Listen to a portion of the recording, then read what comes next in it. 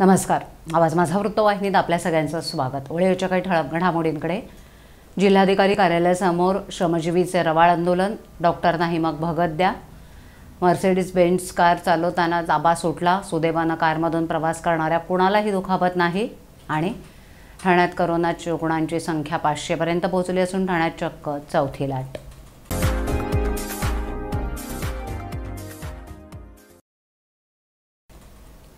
महाराष्ट्रासह ठाणे पालघर नाशिक जिल्ह्यातील आरोग्यसेवा कोलमडून गेली आहे. आरोग्य संस्था मरणपंथाला आल्यात.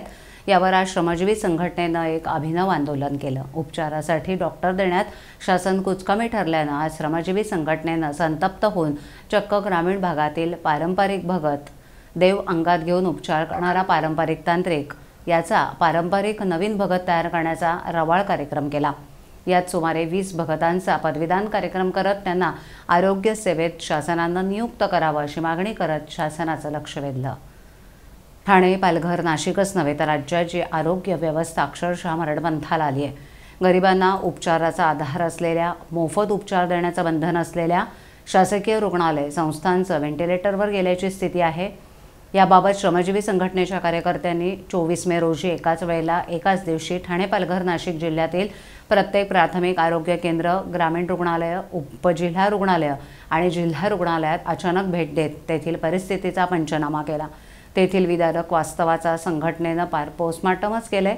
या पाहणी दौऱ्यातील माहि माहितीचं विश्लेषण करून एक अहवाल श्रमजीवी संघटनेनं प्रकाशित केला असून मरण पावलेल्या आरोग्य व्यवस्थेचं पोस्टमार्टम असं शीर्षक या अहवालाला देऊन श्रमजीवी संघटनेनं आरोग्य संस्थांच्या कोलमडलेल्या अवस्थेला सर्वांसमोर आणलं आहे.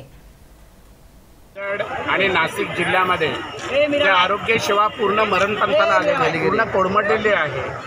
कुठल्याही प्रकारची प्राथमिक आरोग्य केंद्र उपजिल्हा रुग्णालय किंवा ग्रामीण रुग्णालय या रुग्णालयांमध्ये पुरेसा औषध साठा नसतो पुरेसे डॉक्टर नसतात. कुठलाही डॉक्टर मुक्कामी राहत नाही. आणि विंचूचा सर्पदंशाची औषधं नाही. व्यवस्थित जे सुविधा पाहिजेत शौचालय पाहिजेत ते नाही. म्हणजे आरोग्य सुविधा पूर्णतः कोडमडलेली आहे. आणि आम्ही अनेक वेळा आमच्या काही महिला जाऊन डिलिव्हरीसाठी जातात. त्यावेळी त्या तिथे औषधं नसल्यामुळं व्यवस् सुविधा नसल्यामुळं त्यांना पुढे पाठवलं जातं नाहीतर खाजगी रुग्णालयात जावं लागतंय. आणि त्यामुळं काही मृत्युमुखी महिला पडतात रस्त्यात डिलिव्हरी होतात. अशी अवस्था महाराष्ट्र शासनाच्या आरोग्य विभागाने केलेली आहे. आणि म्हणून आज आम्ही एक अनोखा आंदोलन करतोय की आमचे पूर्वी आदिवासी भागामध्ये बघत होते. अंगारा देऊन बरं करायची अशी आमची समज होती. आणि म्हणून तीच समज आम्ही पुन्हा आता स्वीकारले. की आम्हाला आम्हाला बाकी काही नको. आम्हाला भगत मंत्री नेमा भगत पालकमंत्री नेमा आणि आरोग्य खातं हे बंद करा अशा पद्धतीच्या मागण्या आम्ही घेतलेल्या ठाण्यातून जाणाऱ्या पूर्व द्रुतगती मार्गावरील तीन हातनाका उड्डाण पूल उतरताना ठाण्याकडून मुंबईकडे जाणाऱ्या वाहिनीवरती मर्सिडीज बेन्स कार चालकाचा ताबा सुटला. त्यामुळे ही कार उलटल्याची घटना सोमवारी पहाटेच्या सुमारास घडली. सुदैवानं या कारमधील पाचही जणांना कोणतीही दुखापत झाली नसल्याची माहिती पोलिसांनी दिली. दरम्यान अपघातग्रस्त कारमधील सांडलेल्या तेलावर माती पसरून तो रस्ता वाहतुकीसाठी मोकळा केल्याची माहिती आपत्ती व्यवस्थापन कक्षानं दिली आहे. कार मालक आणि चालक मोहम्मद अक्रफ निर्माण यांच्यासह आणखीन चार जण सोमवारी पहाटे भिवंडी अलहिंदाबा ते मुंबईकडे ठाणेमार्गे निघाले होते. त्यांची कार पावणे तीन वाजण्याच्या सुमारास पूर्व द्रुतगती मार्गावर तीन हात नकापूल उतरताना निर्माण यांचा कारवालीत ताबा सुटला आणि कार उलटली. यावेळेला कारमधील तेल रस्त्यावर पसरलं. या घटनेची माहिती मिळताच घटनास्थळी ठाणे महापालिका आपत्ती व्यवस्थापन कर्मचारी तसंच नौपाडा वाहतूक नियंत्रण शाखेच्या पोलिसांनी धाव घेतली. सुदैवानं कारमधून प्रवास करणाऱ्या कुणालाही दुखापत झाली नसल्याचं समोर आलंय. घटनास्थळी एका हायड्रा मशीनच्या साह्यानं अपघातग्रस्त कार रस्त्याच्या बाजूला करण्यात आली. सांडलेल्या तेलावर माती पसरून तो रस्ता आपत्ती व्यवस्थापन विभागानं वाहतुकीसाठी मोकळा केलाय. यावेळेला कारमध्ये दोन महिला आणि तीन पुरुषांचा असे पाच प्रवासी प्रवास करत असल्याची माहिती आपत्ती व्यवस्थापन विभागानं दिली.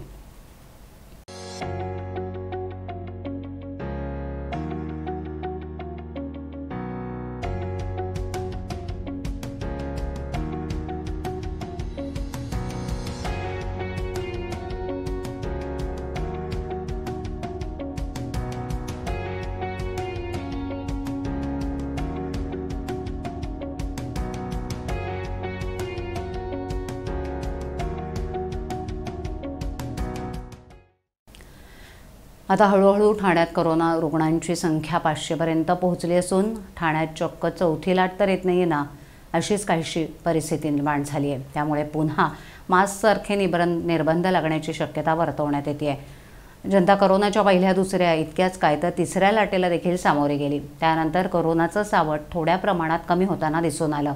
त्यामुळे शिथिलता राज्य सरकारकडून जाहीर करण्यात आली. शाळा कॉलेजेस त्याचप्रमाणे हॉटेल्स चित्रपटगृह यांच्यावरचे निर्बंध हटवण्यात आले. लोकांच्या चेहऱ्यावरच्या मास्कची सक्ती देखील हटवण्यात आली.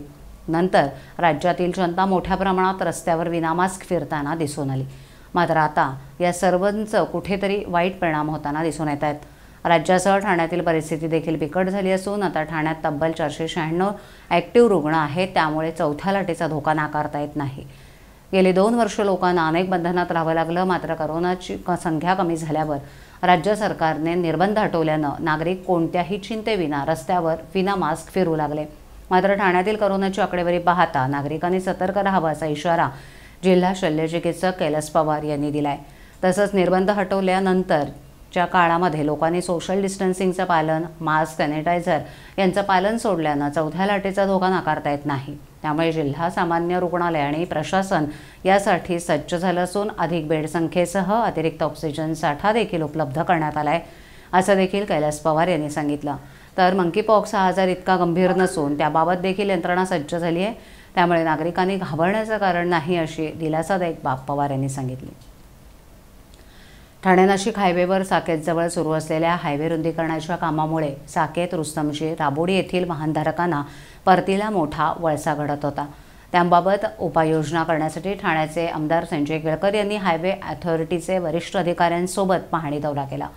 हायवेला लागून बाळकुंच्या बाजूचा रस्ता बंद होता तो सुरू करण्याचा पर्याय वाहनधारकांना दिलासा देऊ शकतो आणि वाहतूक कोंडी कमी होऊ शकते असं केळकर यांनी पाहणी दौऱ्याच्या वेळेला सुचवलंय. या सूचनेला संबंधित अधिकाऱ्यांनी मान्यता दिल्यानं पुढील आठवड्यात मुंबईकडून येताना या एकेरी रस्त्याचा वापर करता येईल असं केळकर यांनी सांगितलं. यावेळेला पाहणी दौऱ्यामध्ये आमदार केळकर यांच्यासह ॲडव्होकेट अल्केश कदम योगेश भोईर दिलीप कंकाले प्रवीण रानडे सुरेश पाटील रवी रेड्डी तन्मय भोईर इत्यादी कार्यकर्ते उपस्थित होते. वसुंधरा अभियानांतर्गत विभाग स्तरावर उत्कृष्ट काम केल्याबद्दल ठाण्याचे जिल्हाधिकारी राजेश नार्वेकर यांचा मुंबई इथे झालेल्या कार्यक्रमात मुख्यमंत्री उद्धव ठाकरे उपमुख्यमंत्री अजित पवार महसूल मंत्री बाळासाहेब थोरात पर्यावरण मंत्री आदित्य ठाकरे यांच्या हस्ते सन्मान करण्यात आला.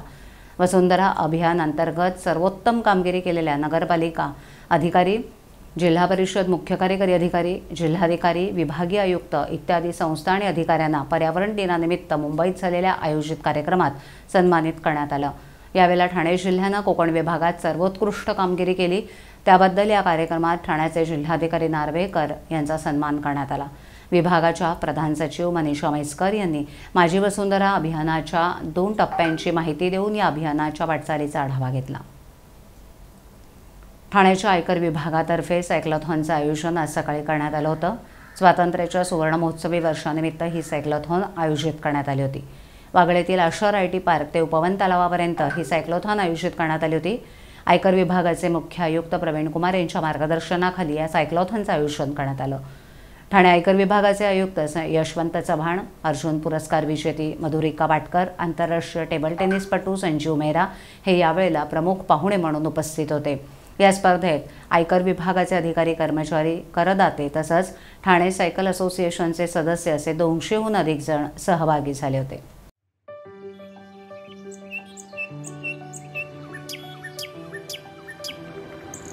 अरे निवडणुका जवळ आल्या आहेत. मजा ना? मजा काय त्यात? अरे सुट्टी मिळेल. मस्त पिकनिक काढू धमाल करू.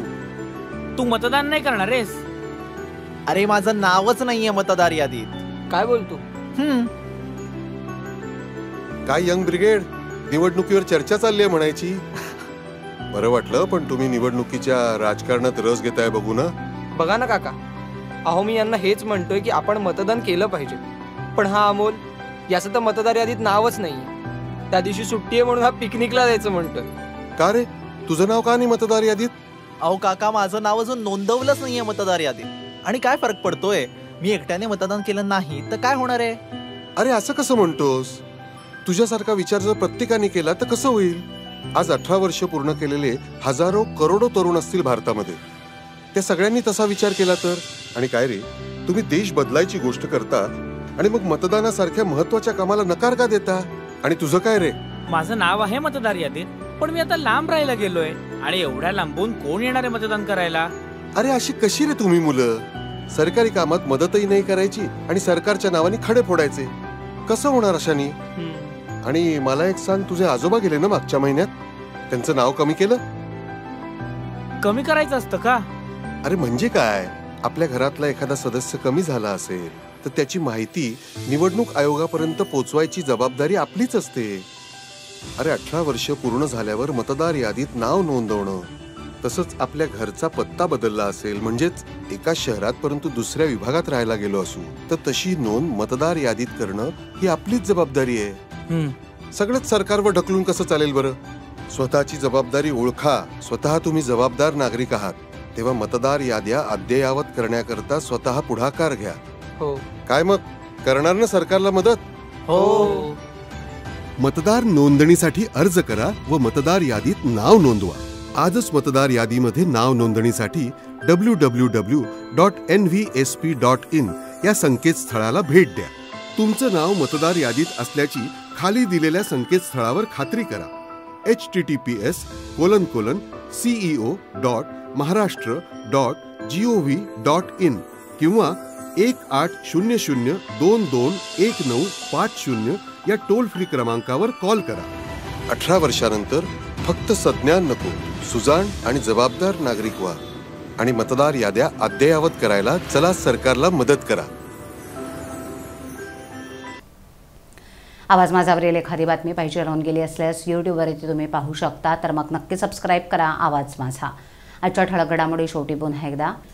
जिल्हाधिकारी कार्यालयासमोर श्रमजीवीचे रवाळ आंदोलन. डॉक्टर नाही मग भगत द्या. मर्सिडीज बेंट्स कार चालवताना जाबा सुटला. सुदैवानं कारमधून प्रवास करणाऱ्या कुणालाही दुखापत नाही. आणि ठाण्यात करोनाच्या रुग्णांची संख्या पाचशेपर्यंत पोहोचली असून ठाण्यात चक्क चौथी लाट. आपल्या विभागातील काही सूचना अथवा समस्या असल्यास आमच्यापर्यंत जरूर पोहोचवा. आम्ही तुमचा आवाज नागरिकांपर्यंत नक्की पोहोचवू. आम्हाला संपर्क करण्यासाठी आमचा पत्ता आवाज माझा एकशे तीन साईल एक आदर्श नगर कोलबाड रोड ठाणे पश्चिम. आमचा दूरध्वनी क्रमांक सात सहा सहा सहा दोन एक तीन एक चार एक. तर मग पुन्हा भेटू याच वेळी. याच ठिकाणी काही नवीन घडामोडींसह आवाज माझा वृत्तवाहिनीत. तोपर्यंत नमस्कार.